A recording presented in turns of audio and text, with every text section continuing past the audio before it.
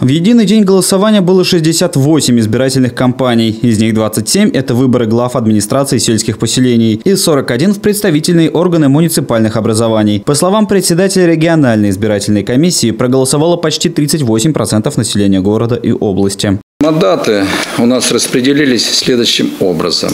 Из 27 выборов глав муниципальных образований 26 выиграла партия «Единая Россия», один мандат выиграл самовыдвиженец. Из депутатов, из 372 мандатов, 331 «Единая Россия», 14 КПРФ, 6 ЛДПР, 5 «Справедливая Россия», один мандат «Яблоко».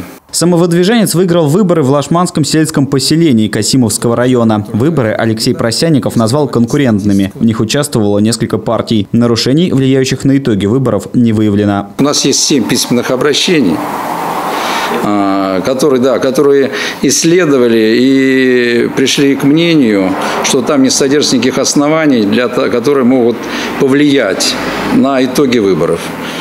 Поэтому мы сегодня говорим о семи обращениях. Стоит отметить, что из общего числа одно обращение подано трижды в несколько разных инстанций. Выборы признаны состоявшимися. Валерий Седов, Игорь Глотов, телекомпания «Город».